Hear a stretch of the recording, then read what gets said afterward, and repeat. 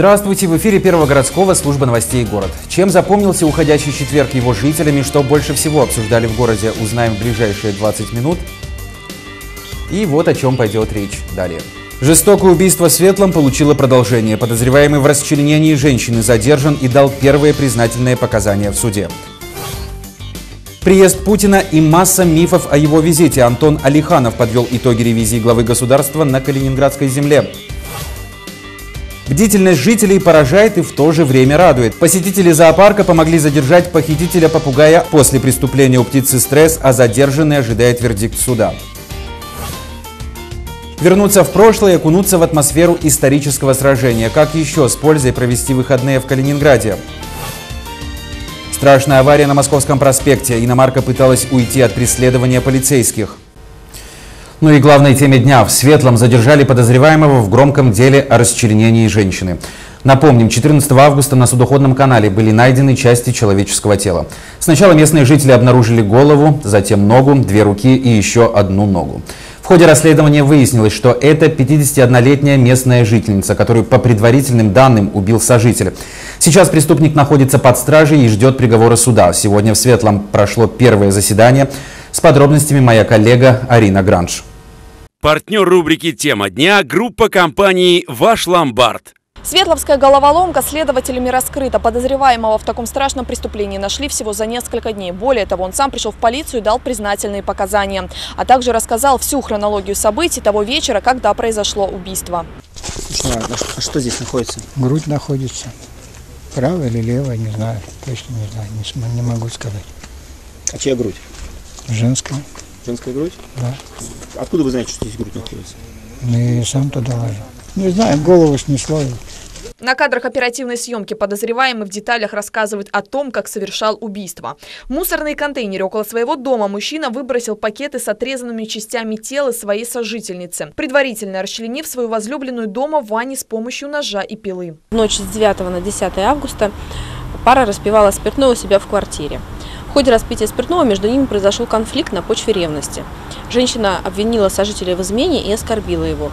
В ответ мужчина задушил потерпевшую электрическим кабелем. После чего мужчина отнес тело в ванну, где оно пролежало несколько дней. Желая скрыть следы убийства, он решил расчленить женщину. Как рассказывает подозреваемый, сначала он отрезал голову, руки и ноги, затем выбросил их в судоходный канал. Туловище и внутренние органы подозреваемый расфасовал по пакетам. Часть отнес в мусорные баки, а часть оставил на балконе. Спустя несколько дней местные жители обнаружили голову, которая всплыла на поверхность воды. Скрыть все улики преступнику не удалось. В ванне, да, разделывали? В ванной, да. Сколько лежал там тело, сколько там лежало?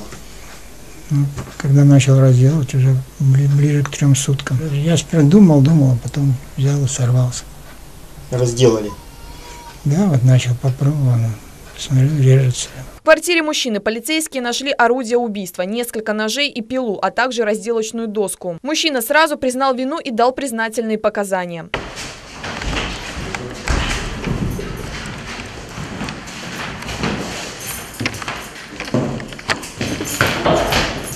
Четверг прошло первое судебное заседание, после чего мужчину взяли под стражу на два месяца для выяснения всех деталей убийства. О подозреваемом известно всего несколько фактов. Мужчина уроженец города Светлый, официально нигде не работал, часто выпивал. Жалоб от соседей никогда не поступало, был холост, детей нет. За 52 года единожды привлекался к административной ответственности. Что касается женщины, то о ней пока никакой информации нет. Арина Гранш, Андрей Чезов, служба новостей город. Партнер рубрики «Тема дня» – группа компаний «Ваш ломбард». Ну и к другим темам. Накануне Калининград посетил президент Владимир Путин. Он провел в городе около 15 часов. Сразу после события журналисты стали обсуждать визит главы государства. Одни предположили, что это был тур в поддержку в Рио губернатора перед выборами. Вторые, что командировка лидера носила исключительно рабочий характер. В четверг Антон Алиханов решил прояснить ситуацию и пригласил журналистов на пресс-конференцию.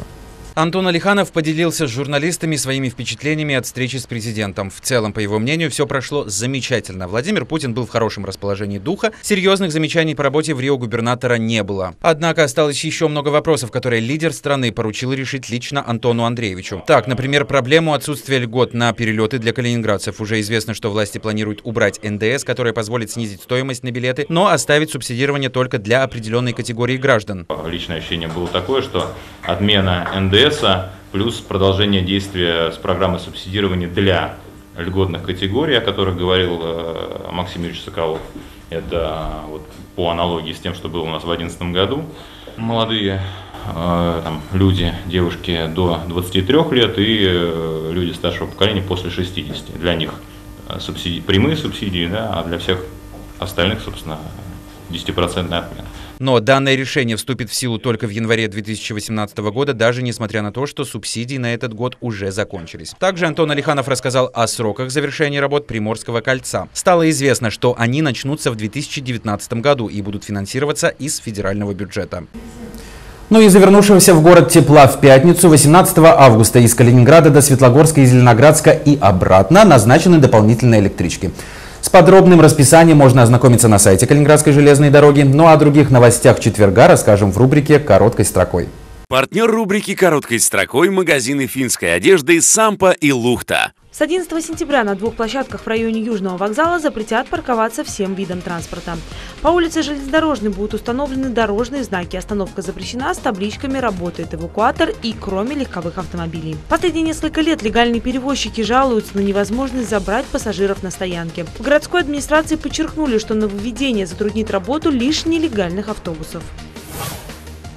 Ярмарки местных производителей возле Дома Советов больше не будет. В сентябре рынок выходного дня переедет на проспект Калинина. Его планируют открыть на месте старых складов с правой стороны, в Старом форте. Уже сейчас эту площадку приводят в порядок. Планируется, что в субботу и воскресенье все склады будут закрыты, а ярмарка будет работать. Как сообщили чиновники, рынок могли разместить на Сельме возле Дворца спорта «Юность» или под вторым эстакадным мостом. Но жители проголосовали против. В деревне Викингов под Зеленоградском появится верфь для кораблей. Представитель этого городского округа Павел Боровиков посетил польский город Пруч-Гданьск. Там и была достигнута договоренность о включении известного фестиваля КАУП в программу приграничного сотрудничества России и Польши. Совместный проект позволит расширить территорию деревни эпохи викингов, а также построить верфь и корабли. Фестиваль КАУП проводится в Калининградской области с 2006 года.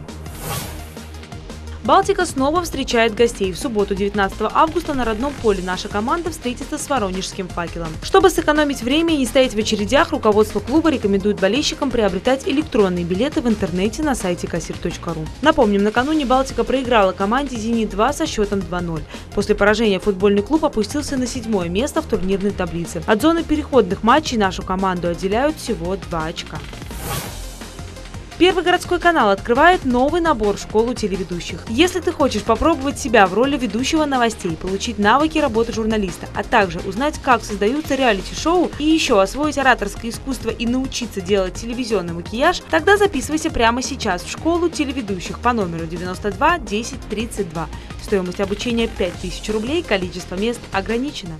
Партнер рубрики «Короткой строкой» – магазины финской одежды «Сампа» и «Лухта». Пьяный посетитель пытался вынести из Калининградского зоопарка попугая стоимостью 150 тысяч рублей. Мужчину задержали на выходе со спортивной сумкой, в которой и сидела птица, сообщает пресс-служба полиции. Нарушитель гулял по территории с женой и детьми. В какой-то момент он отстал от компании, вскрыл клетку, в которой сидел попугай, посадил его в сумку и ушел. Благодаря бдительности других посетителей мужчину удалось поймать. В разговоре с полицейскими задержанный признался в содеянном и выразил раскаяние. Против него уже возбуждено уголовное дело, ему грозит заключение до трех лет и девяти месяцев. Птица же сейчас находится в отдельном вольере. Ее осмотрел ветеринар, физическое состояние попугая в норме, но он испытывает сильный стресс. Как говорят зоологи, у птицы случился нервный срыв, и на данный момент она принимает антидепрессанты. В открытый вольер попугая выпустят не раньше, чем через несколько дней.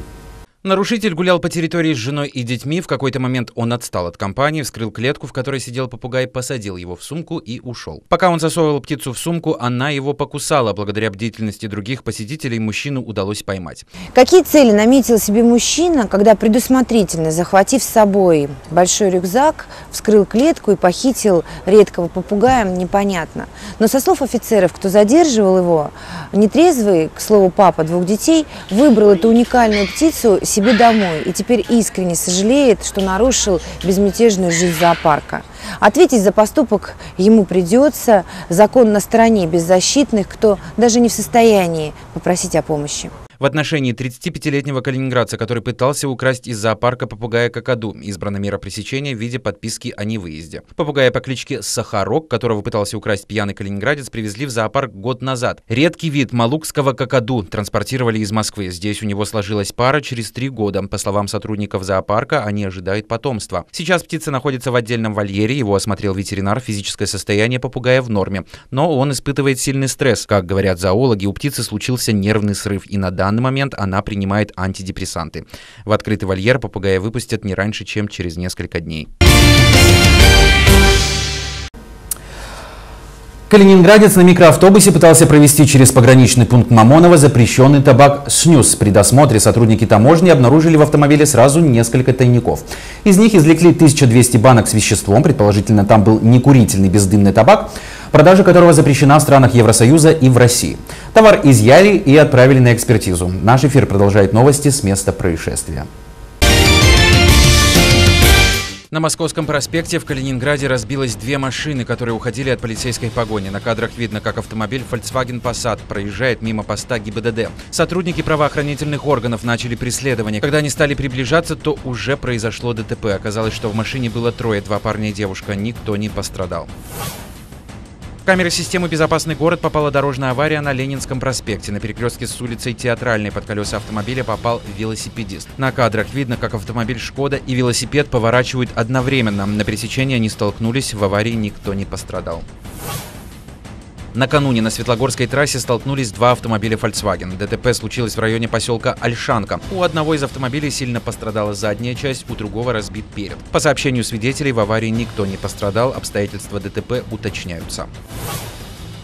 В Зеленоградском районе неизвестные расстреляли указатель к мемориалу воинам-мотоциклистам. На металлической табличке, которая установлена у поселка Шатрова, видны следы от нескольких пуль. Всех, кто видел произошедшее, администрация просит позвонить по круглосуточному телефону 8, код города 40 150, номер телефона 325 95. За информацию, которая поможет найти вандалов, назначено вознаграждение до 50 тысяч рублей. Алексей Колодкин, Арина Гранж, служба новостей город. На календаре четверг, а это значит, что пора готовиться к выходным. Середина августа традиционно принесла в Калининград череду фестивалей. Чем заняться в ближайший уикенд и как интересно провести время с семьей, дайджест лучших событий субботы и воскресенья продолжит наш эфир. Партнер рубрики «Планы на выходные» стендап «Калининград». Короче, начинается. Уже в эту пятницу в городе стартует любимый фестиваль калининградцев. 18 августа Короче откроется традиционной красной дорожкой. Затем неизменная трансляция фильмов в Центральном парке. На большом экране покажут сразу несколько картин, а представлять кино приедут именитые режиссеры и актеры. Елена Исенбаева, Анна Меликян, Ингиборга Дабкунайте и Гоша Куценко. И это только в первый день. Фестиваль будет идти в городе с 18 по 20 августа. С подробным расписанием можно ознакомиться на сайте корочекино.ру. На этом фестивали не заканчиваются. В субботу, 19 августа, всех калининградцев приглашают на военно-историческую реконструкцию «Гумбининское сражение». 120 реконструкторов на одном поле в поселке Лермонтово. В этот раз организаторы учли все ошибки прошлых лет и подготовились основательно. Торговые точки, площадки для детей, интерактивная зона, бесплатный автобус, пешеходные дорожки, информационные щиты и парковка на 6 тысяч мест. Площадка будет открыта для гостей с 11 часов. Сама же реконструкция начнется в 2 часа дня. Из Гусева будет организован бесплатный бесплатный подвоз зрителей и обратно через каждые 15 минут. Всего будет работать 15 автобусов. Любителей активного отдыха приглашают на фестиваль «Тортуга Фест-2017». Спорт, музыка и много фана. Хватит скучать на пляже и в клубах. Одевайте бордшорты и купальники и покажите, на что вы способны. Именно так организаторы призывают всех калининградцев приехать в эти выходные 19 и 20 августа на Голубые озера. В программе вейкбординг, сапсерфинг, кайтбординг, виндсерфинг, флайборд, аквабайк, склайн, воркаут, пляжная фитнес-битва – силовой экстрим и бикини-конкурс «Черная жемчужина». Начало праздника в 10 утра. Привет, Калининград! Меня зовут Руслан Белый. И 9 сентября в 19.00 в концертном зале «Янтарь Холл» состоится мой сольный стендап-концерт. Да-да, вам не послышалось. Российский комик, член команды КВН «Седьмое небо» Руслан Белый едет в наш город. До концерта осталось меньше месяца. Советуем поторопиться и купить билеты. Их можно приобрести на сайте янтарьхолл.рф или в кассах концертного зала в Светлогорске. Повторяем еще раз, чтобы не забыли. 9 сентября, 19.00. Янтарь Холл. Сольный концерт Руслана Белого. Партнер рубрики «Планы на выходные» стендап «Калининград». Австралийские власти собираются ввести новые правила использования в стране криптовалют, в том числе биткоина. Они станут частью нового законодательства по борьбе с легализацией доходов, полученных преступным путем. О других новостях бизнеса и финансов расскажем в нашей традиционной рубрике. Партнер рубрики «Бизнес-новости» стоматология «Диамет». Здравствуйте! Американская исследовательская компания NetBase представила свой ежегодный доклад о самых популярных мировых брендах. Первых пять компаний списка Facebook 21 опрошенных, Amazon и eBay по 20%. Apple и Snap принадлежат к миру высоких технологий. Изучались отзывы пользователей из соцсетей Facebook, Twitter, Instagram, Tumblr и другие, обрабатываемые запатентованные компании технологии. В день на Facebook ставят 175 миллионов лайков. Другая социальная сеть Snapchat впервые вошла в лист, депутировав сразу на пятом месте. Google купила белорусский стартап iMeter, бывших топ-менеджеров Mail Group. Сумма сделки не раскрывается. По словам собственника Юрия Нельничика, произошла именно покупка компании, а не сделка ради приобретения сотрудников. iMeter разрабатывает технологии компьютерного зрения, которые позволяют распознавать и обрабатывать изображения, а также работает над запуском нейросетей на мобильных устройствах. Ростех потратит 800 миллионов рублей на подключение к антихакерской системе. В течение этого года уже были подключены Росэлектроника, высокоточные комплексы, Техмаш и Объединенная двигателестроительная корпорация. До 2018 года планируется подключить к этой системе до 100 предприятий, отметили в госкорпорации. Напомним, в июне российские и украинские нефтяные, телекоммуникационные и финансовые компании пострадали от атаки программы вымогателей ПТ. Она распространялась в аналогии с вирусом WannaCry, блокирует компьютеры и требует перевода 300 долларов в рынок. Минэкономика планирует отменить штрафы для крупного бизнеса за первые допущенные нарушения. Таким образом, Минэкономика рассчитывает снизить коррупционные риски и пресечь практику взяток контрольным органам. Сейчас предложение Минэкономики проходит согласование в других ведомствах. В случае его утверждения министерство разработает соответствующий законопроект. Продолжение строительства Приморского кольца начнется не раньше 2019 года. Проектную документацию по трассе Светлогорск-Янтарный с соответствующими ответвлениями до населенных пунктов передадут федералам. По оценкам 2012 года участок трассы от Светлогорска до Янтарного обходится 18 миллиардов рублей. Продолжением до Балтийска 50 миллиардов. Сейчас дорога перегружена. К 2022 году увеличение грузопотока ожидается более чем в два с половиной раза. Поэтому дальнейшее увеличение невозможно без строительства автодороги, считают эксперты. Партнер рубрики «Бизнес-новости» стоматология «Диамет». Наслаждаюсь летом, гуляю с ребенком, ищу девушку. Что радует калининградцев этим летом? Смотрите в нашем традиционном опросе.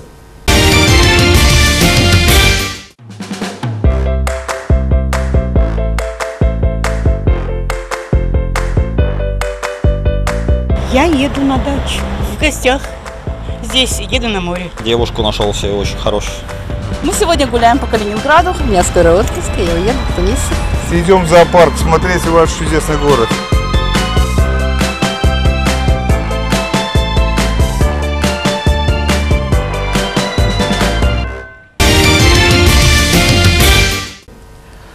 А вот стоит ли на выходные ехать за границу, подскажет информация о курсах валют. Партнер рубрики «Курсы валют» – бухгалтерская компания «Бухучет». Курсы валют на пятницу, 18 августа. Доллар США 59 рублей 24 копейки. Евро 69 рублей 53 копейки. Польский злотый 16 рублей 33 копейки. Партнер рубрики «Курсы валют» – бухгалтерская компания «Бухучет». Не успели горожане насладиться прохладой, как в Калининград снова пришла жара. Какой погода будет завтра на Балтийском? Калининграде 17 августа днем плюс 22 малооблачно. 18 августа плюс 22 дождь. 19 августа днем плюс 19 облачно. В Гданьске 17 августа плюс 21 ясно. 18 августа 23 градуса тепла, дождь. 19 августа плюс 19 ясно. В Вильнюсе 17 августа плюс 23, облачно. 18 августа 25 градусов тепла, гроза. 19 августа плюс 24, облачно, дождь. И это все новости, о которых мы успели рассказать вам сегодня. Напоминаю, что если вы стали свидетелем интересных событий, то обязательно звоните к нам в редакцию по телефону 555-085. В студии для вас работал Алексей Колодкин и до встречи в городе.